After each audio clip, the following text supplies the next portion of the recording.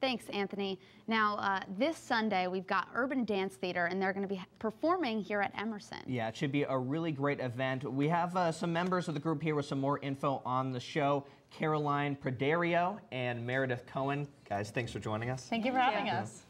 So um, the first thing we really want to know is, is what is EUDT compared to the other dance companies on campus? So we're a smaller dance company than the others on campus, and we are dedicated to using styles of dance as narrative tools. So every single one of our shows aims to tell a story, not just present dance in itself.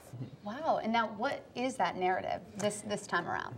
This time our show is exhibition themed, so we're going to be doing a lot of high energy pieces, lots of cool costumes and colors, and every piece is going to be a dance um, imagined from an, an artist, artistic work.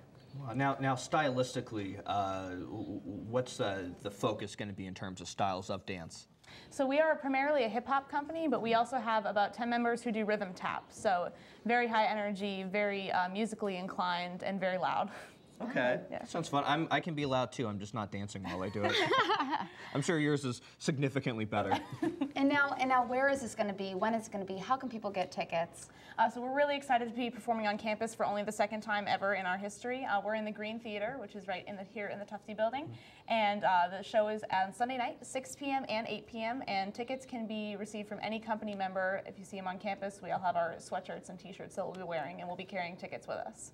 Great. And now, biggest thing you guys are looking forward to? What can what can we expect from the show? I think uh, I think we can expect a lot of just, we have some seniors graduating, people are excited. We're doing a senior piece to showcase them and just having fun on stage for the second time at Emerson. Okay, so it's going to be a, a great goodbye. Sounds like it's going to be an awesome show. Thanks so much for joining us.